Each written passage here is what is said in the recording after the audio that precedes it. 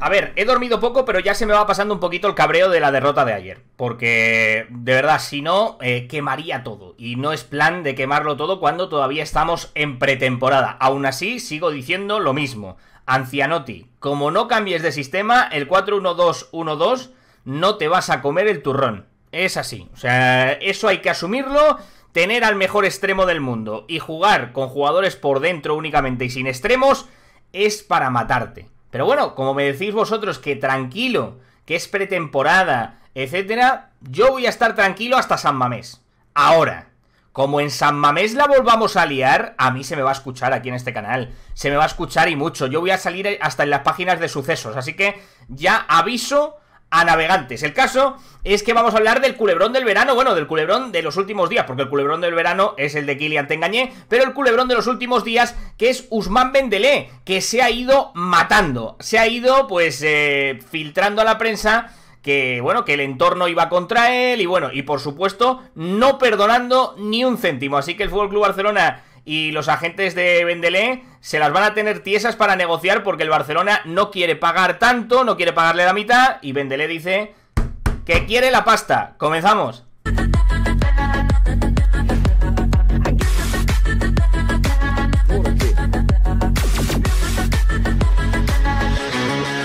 Vikingos y vikingas, comenzamos un vídeo y vamos a hablar del tema de Usman Bendelé, que ha muerto matando. Se ha ido pues señalando todos los problemas que veía porque él quería quedarse. Pero claro, el entorno no era muy favorable según el mosquito. Y el caso es que Juan Lapuerta quería que le pagase la fiesta Usman Bendelé. Toda la fiesta que se ha tirado ahí por Norteamérica, rodeado de rubias, jacuzzis en Las Vegas, a saber qué ha hecho en los jacuzzis de Las Vegas el señor Juan Lapuerta. No me quiero imaginar esa, esa imagen de Juan Lapuerta en bikini en algún casino de Las Vegas, mucho menos en algún local de striptease. Bueno, eh, habrá sido la fiesta importante porque quería que Usman Bendelé pues eh, rechazase esa mitad que le corresponde. Es decir, a, a Bendelé le corresponden 25 millones de euros de los 50 millones de euros del traspaso. Eso es así. Hay gente que vendió, sobre todo la culerada, el culé promedio, vendió que no, que eran los 50 íntegros para el Fútbol Club Barcelona. Y eso no es así. Y el Fútbol Club Barcelona es como los agentes de seguros, de esto que te pegas una hostia con el coche y te empiezan a buscar por ahí cláusulas que no te entra esto, que no te entra lo otro, esto no está firmado. Y el Fútbol Club Barcelona, pues hizo un poco como los agentes de seguros que no querían pagarle a Bendelé su otra, su, bueno, su mitad, lo que le, lo que le corresponde de este traspaso y que debería ceder parte, según el Fútbol Club Barcelona, para salir bien del club blaugrana. El caso es que Bendelé ha dicho que verdes las han segado y, por supuesto, su agente Sissoko, que no es muy amigo de Juan Lapuerta, sus trillizos y Padre Mani. Entonces, pues seguramente esto pueda terminar en los juzgados. Así que vamos a leer todo lo de Dembélé porque hoy la verdad que va a ser gracioso. Esto es lo que ponen en cuentas blaugranas. El Barça instó a Dembélé a perdonar su parte de la tarifa de transferencia porque ha dejado el club sin un reemplazo a pocos días del comienzo de liga, pero él y su agente se negaron y dijeron que no le darán al club ni un euro más, solo serán 25 millones de euros. Y es que Bendelé se ha ido, como os he dicho, matando. Bendelé a Xavi quería seguir, pero en un ambiente sano. El jugador francés le explicó al entrenador que el problema de su continuidad estaba en el entorno que ya le puso a los pies de los caballos en su última renovación. Usman Bendelé se marcha del Barcelona con la sensación de que desde el club había más de una persona haciéndole la cama. Así se lo dejó caer el propio jugador al entrenador Javi Hernández durante la reunión que mantuvo con el técnico. Yo quiero seguir aquí y ganar títulos, pero en un ambiente sano. Le llegó a asegurar eh, el internacional al entrenador, según ha podido saber As, señalando claramente al club y al entorno, pero sin decir ni apuntar nombres. De hecho, el propio Xavi reconoció públicamente en la entrevista que concedió a TV3 eh, después del partido contra el Milán que Usman le había ofrecido sus argumentos, pero sin concretar mucho. Donde Dembélé se abrió más fue dentro del vestuario, cuando expresó a, un compañero sus reticencias de seguir en un club donde hay gente siempre echándome mierda, y mucho menos esperar a que me corten la cabeza, llegando a asegurar que de mí no se ríe nadie. Dembélé recordaba sin duda el episodio de cuando le dejaron en la grada contra el criterio del técnico porque no quería renovar y no quiso exponerse a una nueva situación de este tipo. A Xavi le subrayó por activa y por pasiva que en su decisión no priorizaba el dinero pese a que la oferta del PSG casi triplica sus actuales emolumentos, sino la falta de confianza de los responsables del club. Eso sí, agradeció el trato recibido por parte del entrenador siempre inmejorable, que además apostó por él en los peores momentos de su carrera cuando todos me daban por muerto. Eso, al parecer, son palabras del propio Bendelé. Eh, en cualquier caso, los argumentos del francés no convencieron a Xavi, que eh, salió de la cumbre muy desilusionado con el delantero, ni tan siquiera la comparación de cómo se marchó Neymar fue suficiente argumento para echar atrás una decisión que hacía tiempo que venía meditando. Eso sí, el técnico aprovechó para desmentirle categóricamente los rumores que apuntaban que había sido ofrecido al PSG hace un mes como posible alternativa eh, de trueque con Kylian Mbappé. Pese a todo, Dembélé se mantuvo firme en su deseo de abandonar el club, recurriendo al pacto privado que firmó con la entidad el pasado verano. En el Barcelona le instaron a perdonar parte del dinero que le correspondía como signo de buena voluntad, ya que finalmente deja el equipo colgado, a falta de 15 días para empezar la competición, pero tanto el jugador como su agente no están dispuestos a perdonar un euro, de ahí que ahora el Barcelona se haya sacado de, de, la manga una cláusula por la que Usman no habría cumplido con todos los objetivos, lo que afectaría directamente al porcentaje a recibir en la cláusula de salida. Bueno, pues eh, yo creo que lo esperado con Bendelé, ¿no? Al final fue Club Barcelona le trató fatal el verano pasado, o, renovación o te vas a la grada, te bajamos el sueldo, te tienes que adecuar a las condiciones del Fútbol Club Barcelona, que hay que rebajarse el sueldo, etcétera y firmó una renovación en la que le permitía salir del Fútbol Club Barcelona y se llevaba la mitad de la cláusula de rescisión o la cláusula esa privada que tenían y eran 25 millones de euros. Al final no está renunciando a nada porque está en su derecho, no cobró prima de renovación, no cobró absolutamente nada porque el Barcelona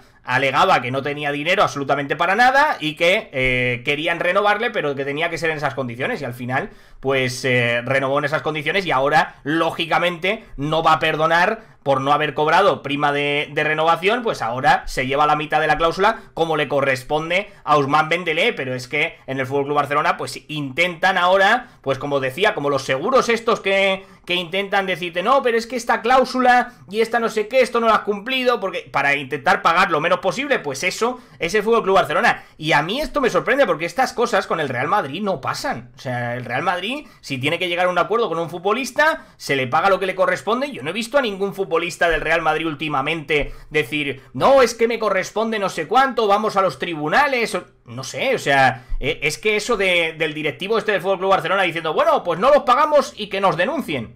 Bueno, pues eh, esa es la imagen que quieren dar eh, en el mundo del fútbol, porque esto al final se acaba sabiendo por todos los futbolistas, quieren dar esa imagen en el mundo del fútbol eh, de que no pagan o que luego hay problemas cuando realmente pues tienen que salir del club y buscan pues eh, tres pies al gato para intentar no pagarte o ahorrarse algo del dinero. Realmente, pues bueno, tú si firmas algo y, estás de acuerdo con ello, pues sabes que si Dembélé va a salir por 50 millones de euros, sabes que, que 25 son para, para el propio Dembélé y para su agente porque perdonaron en su día pues esa prima de renovación que le correspondía porque, a ver, estaba, estaba libre en ese momento y se podía ir a cualquier otro club y podía salir por cero euros del, del Fútbol Club Barcelona. Yo creo que al final se merece Usman Dembélé el, el, que, el cobrar ese, esa, esa mitad que le corresponde. Más allá de que en su día haya costado 140 kilos. Ese no es problema de, de Bendelé. E, eso no es problema suyo. Si el Barcelona va y paga 140 millones de euros, no le pidáis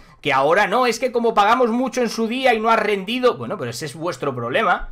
Ese es vuestro problema. Realmente eh, tampoco era problema de, de Hazard que el Real Madrid haya pagado 100 o 110 más objetivos que al final se fueron a 130 o a saber a cuánto a cuánto se fue lo de lo de Hazard, pues no era problema de Hazard, luego al final no, no rindió, es verdad que físicamente no se, no se cuidó absolutamente nada, pero claro, al final el, el que paga es el Real Madrid. Y mm, al final pues Hazard llegó a un acuerdo con el Real Madrid en que no iba a cobrar todo el contrato porque no iba a estar en el Madrid y se fue, pero yo creo que es una manera de club señor de intentar rescindir un contrato pagándole parte y decir, oye, vamos a llegar a un acuerdo, pero eso de salir a la prensa y tal, pues luego pasan estas cosas que, que, que pues se va rajando de, de, la directiva del Fútbol Club Barcelona, de que no se fía, de que le están haciendo la cama, y esto es un mensaje claro para Juan Lapuerta y sus trillizos y Padre Mani, que son los que están ahí al cargo, y es un mensaje directo hacia ellos porque no se fía de ellos, igual que mm, la mayoría de futbolistas que pasan por el Fútbol Barcelona. No se fían de ellos porque saben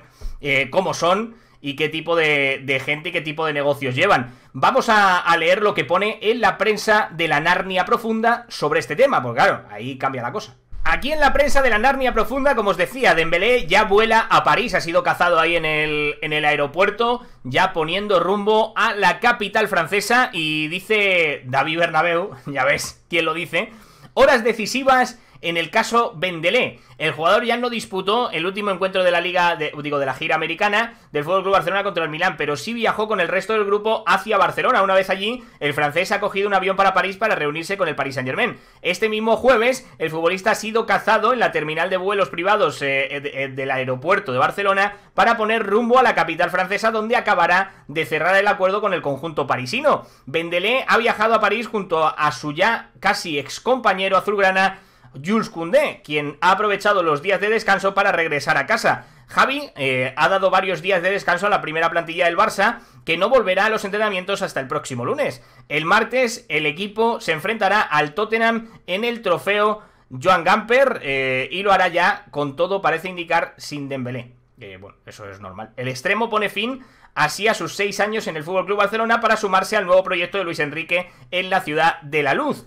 En el Fútbol Club Barcelona se han reunido eh, Juan Lapuerta, Juste y Mateo Padremani y Deco, que Deco está ahí puesto por el ayuntamiento, para analizar el mercado tras la fuga de Usman Bendelé y consensuar los fichajes con el margen salarial que quedará a partir de ahora que no es mucho. Javi ya explicó al finalizar el último amistoso de la gira americana que Bendelé le había decepcionado. Les ponen un compromiso ya que ahora el club tiene que encontrar un reemplazo de garantías de un futbolista en el que el técnico azulgrana confiaba y no es nada fácil. Y atención a esto porque también es muy interesante. ¿Cuánto fair play le genera al Barça el adiós de Bendelé? Eh, aquí pone uno. Si no hay sorpresas, Dembélé saldrá por 50 millones de euros al PSG. De esos 50 millones de euros, si no hay acuerdo, solo 25 son para el Barça. El Fútbol Club Barcelona podrá sumar el 35% de la plusvalía para el fair play financiero. El traspaso, por lo tanto, creará un espacio de 8,75 millones de euros. El club generará más margen en el fair play financiero por el salario liberado. De los 20 millones brutos liberados, el 50% se podría sumar al fair play financiero, por lo tanto, generaría un fair play de 18,5 millones de euros el, traspaso de Usman Bendelé. Si hay acuerdo con Dembélé, el, el Barça puede rascar más. De la cantidad X que perciba, el 35% más el 50% del salario eh, abrirá espacio para fichar. Obviamente, todo esto contando que se cumple ese plan de viabilidad y que entran esos 65 millones de euros, esos 60 millones de euros de la palanca, bueno, de la repalanca de Barça Studio que estuvimos hablando ayer. Eh, porque de momento no hay noticias de, esa repalanca, ni hay noticias en que se hayan ingresado esos 60 millones de euros, que tampoco importa mucho porque la liga, como mira para otro lado, a lo mejor se lo contabiliza y realmente ni los ingresan, porque yo ya visto lo visto como para fiarse de, de Javier Tebas y de, y de Juan Lapuerta y los trillizos tevitas, vamos, o sea, como para, como para fiarse de ellos. El caso es que también me genera mucha curiosidad el, lo que dice Javi. Dice, es que confiaba en él y me ha decepcionado mucho. ¿Qué te ha decepcionado? Lo que te ha dicho el futbolista, que no se fía de la directiva, que no se fía y que le trataron mal, que es verdad que le trataron mal, y que, y que Javi le ha tratado bien y le ha agradecido el trato que le ha dado a, a Dembélé, pero que no se fía de, de esta gente, que le puede hacer la cama y que hoy a lo mejor eh, renueva, tienen la cláusula de 100 millones de euros y mañana le están pidiendo que se pire del, del Fútbol Club Barcelona, que necesitan hacer caja y en vez de venderle por 50, intentan venderle por 70 y de ahí Vendele no vería ni un céntimo. Entonces lo que está haciendo es cubrirse las espaldas y es lógicamente normal. O sea, lo que hace lo que hace Vendele es totalmente normal y lo que hace su agente también es totalmente normal de recomendar a su representado, "Oye, sal de aquí, porque ahora pillamos los 25 millones de euros, que mañana tu cláusula son de 100 millones, de ahí no pillas absolutamente nada, a lo mejor te quieren largar y está negociando ellos con el Paris Saint Germain, le sacan 60 al Paris Saint Germain y tú no ves un euro. Ese es el, ese es el tema y yo creo que ha hecho muy bien ahí Sissoko, entonces no entiendo Xavi que diga, no hombre, es que me ha decepcionado. No, a ti lo que tienes que mirar, eh, Xavi o Javi, como quieras, eh, lo que tienes que mirar es que cada vez que hablas con alguno, ese o no viene al Barcelona a jugar o, se va. En este caso de Usman Bendelé, habla Javi con él, se va. Hendrik, habla Javi con él, se va al Madrid. Eh, el único yo creo que ha fichado un poco ha sido Abueloski y porque la señora Abuelosca le tenía cogido de las pelotas porque venía quería venir a, vivir a, Barcelona porque en Barcelona decía que se vivía mejor y que ella estaba más cómoda en Barcelona. Si no llega a ser porque la señora Abuelosca eh, quería venir a quería venir a Barcelona, no hay, no hay tampoco acuerdo. Si es que con todo el mundo que ha hablado, habló con Haaland también. Recordemos que también habían dicho que, que se había ido a Alemania Javi para hablar con Haaland, explicarle el proyecto, el curifismo, y al final, pues, Haaland terminó en el City. Eh, no sé si habrá hablado con Mbappé o le ha dado vergüenza, pero a lo mejor ha hablado también con Mbappé para explicarle lo que es el curifismo y todo eso para, para que Mbappé fiche por el Madrid. O sea, yo me supongo que, habrá sido algo así. Y Vitor Roque, pues al final eh, es el descarte de, de Hendrik. O sea, como no pudieron con Hendrik, pues se han ido a por, a por Vitor Roque y ahí pues Javi no tuvo que hablar nada, porque al final al muchacho solo le quedaba, solo le quedaba esa opción. El caso es que así está el tema de Bendelé, que ya se termina. Y bueno, Bendelé no ha salido muy bien del Club Barcelona. Los aficionados de, Narnia, pues no, no están muy contentos con él. Y, y Dembélé, pues se va a París a cobrar pasta y a jugar a las órdenes de Luis Enrique. Os leo en comentarios qué pensáis de que Bendelé haya rajado así de la directiva del Fútbol Club Barcelona. Yo creo que lo veréis normal, ¿no? Os leo en comentarios.